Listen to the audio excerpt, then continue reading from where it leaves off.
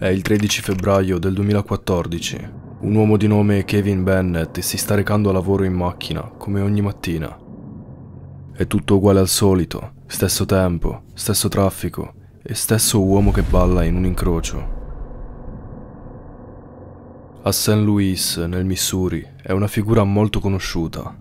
Praticamente ogni mattina questo uomo si piazzava lì, non diceva una parola, non chiedeva soldi a nessuno, semplicemente ballava. Kevin Bennett, come molti altri, trovava che assistere a tutto ciò andando a lavoro di prima mattina fosse magnifico. Quell'uomo che ballava riusciva a trasmettere un senso di serenità e felicità a chi lo guardava, un senso di leggerezza. Quella mattina del 13 febbraio 2014 allora, Kevin decise di fargli un video e pubblicarlo nel suo canale YouTube.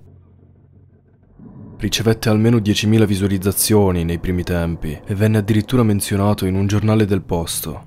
Era un giornale abbastanza conosciuto, la Fox News. La comunità locale voleva davvero sapere di più sul suo conto. Al tempo nessuno lo conosceva davvero, ma adesso sappiamo tutto. E il motivo per cui ballava è più oscuro di quanto possiate immaginare. Il suo nome è Seth Herter e quello a cui le persone stavano assistendo non era un semplice ballo spensierato, ma il lento declino di una mente umana. In quel periodo Seth era un uomo disoccupato con varie condizioni psicologiche particolari, il che lo portò ad avere un comportamento sempre più strano. In modo particolare sul web spiegava le sue bizzarre ideologie religiose. Tramite il suo account Twitter che è ancora attivo, si può facilmente trovare questo link. Cliccandolo verremo reindirizzati ad un sito chiamato Blogspot, dove Seth aveva un blog chiamato Un ragazzo cattolico a St. Louis impara il luteranesimo. In questo blog possiamo trovare sette articoli scritti in appena tre mesi del 2014. Sentite alcune delle sue parole. Preparate i vostri cuori, amici. Per davvero, questi sono i giorni finali del regno del terrore in questa terra. Gesù Cristo tornerà presto per prendere il suo posto nel trono della terra e porterà con sé il suo impero intergalattico. In un altro articolo invece scrive Possiate iniziare ad odiare le regole della società che sono malvagie e provano ad oscurare la nostra mente e il nostro spirito e distruggere il mondo. Amen. Dando un'occhiata a queste righe possiamo intuire che il suo pensiero era fortemente antisociale andava contro ogni schema della realtà dell'uomo. Ma in mezzo a tutte queste sue dichiarazioni, Seth ha anche parlato dei suoi balli. Non si riferiva a loro come se fossero delle performance oppure un hobby, ma come una sorta di rituale religioso che usava per diffondere il suo messaggio. Messaggio che non ha mai divulgato espressamente o in modo esplicito. Un suo tweet però sembra chiarire quale fosse. Amerò tutti gli esseri viventi per sempre e cercherò di non uccidere, far male e distruggere alcun essere vivente, non un albero, non un uccello, non un'ape e non una libellula.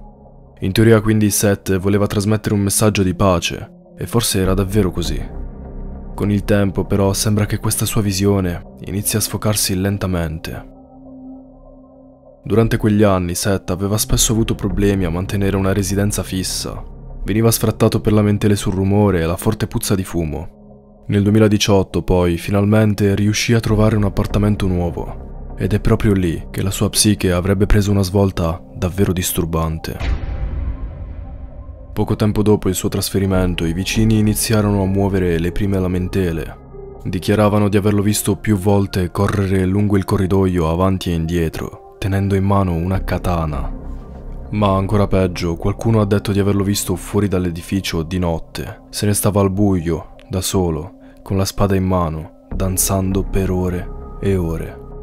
In quegli episodi era come in uno stato di trance, completamente immerso nel suo mondo, incosciente della realtà intorno a lui.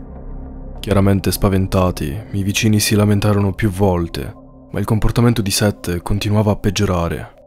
Il ragazzo iniziò a insultare i suoi vicini e litigare con loro senza motivo, mostrando una rabbia incontrollabile e senza senso. Più passava il tempo e più questa rabbia cresceva, diventando sempre più incontrollabile. Purtroppo non possiamo sapere cosa pensasse Seth in quel periodo, dato che aveva totalmente abbandonato ogni social o blog in cui aveva condiviso le sue idee in passato. Negli anni immediatamente precedenti ha fatto perdere completamente le sue tracce sul web, fatta eccezione per un singolo sito, Amazon.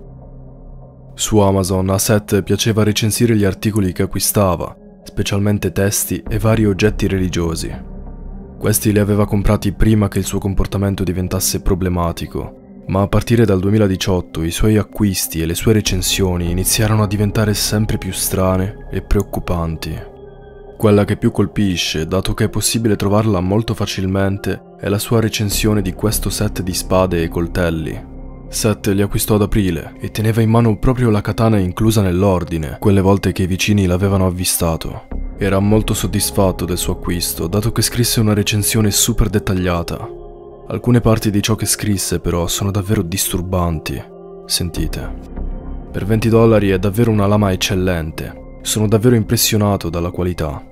La punta era affilatissima e capace di penetrare la maggior parte dei bersagli con cui l'ho testata. Ancora una volta, ottimo acquisto per 20 dollari. Sicuramente capace di uccidere. Nella recensione era anche allegata una foto scattata da Seth in cui impugnava la spada. Sicuramente leggendo queste parole sorge qualche dubbio, ma la recensione più disturbante di tutte sarebbe arrivata solo qualche giorno dopo, quando Seth acquistò questo taser. Qualcuno nella sezione domande chiese Avete mai usato il vostro taser? E ha funzionato? Questa è la scioccante risposta di Seth. Ho comprato questo esatto modello di taser. In un momento di rabbia contro me stesso mi sono inflitto delle scariche in faccia e al collo circa 30 volte. È efficace. Emette un forte rumore quando usato, che riesce a raggiungere le parti più oscure della psiche. È davvero una potente arma psicologica. Ha poi concluso dicendo che utilizzarlo contro di sé è stato esilarante a dire il minimo. A questo punto chiaramente chi leggeva le sue parole sul web rimaneva stranito e preoccupato, ma per le persone che lo conoscevano nella vita reale le cose stavano iniziando realmente a diventare spaventose e pericolose. In quel periodo Seth chiamò suo padre e gli disse che Gesù gli aveva parlato e lo aveva scelto per svolgere alcuni compiti. Gli disse che era il prescelto e che era finalmente arrivata l'ora di iniziare a punire le persone. Il padre, cosciente della situazione mentale di Seth, si affrettò a chiamare le autorità. Non aveva idea di che cosa avrebbe potuto fare suo figlio. Purtroppo però le autorità non fecero nulla di importante, lasciando a Seth la libertà di continuare la missione affidatagli dal Messia. La sera del 2 maggio 2018, Seth invitò il suo ex fidanzato Christopher McCarthy nel suo appartamento. Lo implorò di andare a trovarlo perché aveva un bisogno disperato di lui. Diceva addirittura che la CIA stava ascoltando i suoi pensieri e che c'erano delle persone che vivevano dentro i muri di casa sua. Capendo che Seth aveva un grosso bisogno di aiuto, Christopher accettò e decise di andare a trovarlo. Una volta nell'appartamento i due iniziarono a parlare ma quella che all'inizio era una semplice chiacchierata si trasformò presto in un litigio pesante. I due iniziarono ad urlarsi contro sempre più forte e non ci volle molto tempo perché lo scontro diventasse fisico. In quel momento ebbe luogo uno dei sempre più frequenti episodi di rabbia incontrollata di Seth. Così afferrò la sua amata katana e improvvisamente cominciò a colpire Christopher, ancora e ancora. Alla fine quella spada era stata davvero in grado di uccidere, proprio come aveva scritto Seth nella sua lunghissima recensione. L'orripilante scena venne scoperta solo il giorno dopo. Gli addetti alla manutenzione aprirono la porta e si trovarono davanti il corpo senza vita di Christopher.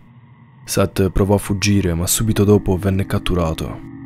A quanto pare in quel momento stava cercando di svolgere il compito affidatogli da Cristo e non si sarebbe fermato ad una sola vittima avrebbe continuato quella punizione divina finché sarebbe stato necessario.